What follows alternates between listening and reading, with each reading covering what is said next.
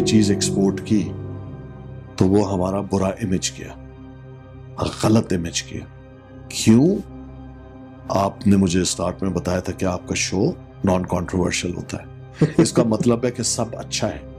यानी नीरो जो है वो रोम में बैठा हुआ बांसुरी बजा रहा है चाहे चाहे रोम जल रहा कि अगर हम सच को सच नहीं कहेंगे हम अपने बेसिक मैं समझता हूँ हमारे रोल में हम फेल कर जाते हैं। मैं जब फिर ये कहूँगा कि हमने जब एक्सपोर्ट किया तो बुरा इमेज किया तो वो आपने तो नहीं किया। पाकिस्तान का बुरा इमेज मैं भी कसम खाने को तैयार हूँ, मैंने नहीं किया। मेरा उसमें कोई अमल दखल नहीं है। लेकिन फिर क्या वजह है कि जब आप अपने आप को बाहर जाकर इंट्रोड्यूस कराएँगे आज पाकिस्तानी, या मैं कराऊँगा अलावा चंद ममालिक है। जहाँ भी आपकी इज़्ज़त है। आपको शक की नज़र से, आपको जिस अकदार पे परखा जाएगा ना उसके जिम्मेदार आप है ना मैं हूँ। लिहाजा मैं इसलिए कहता हूँ कि पॉलिटिक्स जो है इनवेरेबली इसमें शामिल इसलिए हो जाती है कि फिर ये किसने किया? ये मैंने तो नहीं किया। अच्छा ये तय हो गया आपने भी नहीं किया।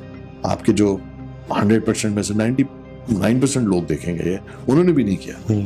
लेकिन खुमियाजा उसका वो भुगत रहे सारे भुगत रहे तो फिर ये डिसीज़न किसने किया? जो एम्पावर्ड थे। एम्पावर्ड कौन होते हैं? हाकिम। लीडरशिप राइट हाकिम। पहले तो आ जाए। सोसाइटी पे मैंने आपसे पहले कहा। आप ब्रांड बनाएँगे तो ब्रांड कैसे जब इंसान अच्छा नहीं है मुझे एक बात बताए। मतलब मैं बुरा हूँ मिसाल है मेरी नीयत बुरी है मेरा किरदार बुरा है मेरी सोच बुरी है। मैं हर चीज़ झूठ मुनाफकत बदयांती पे कायम हूँ। और आप कह रहे हैं मग बना के दो मैं सही बना के दूँगा। आप एक्सपेक्ट कर सकते हैं मुझसे।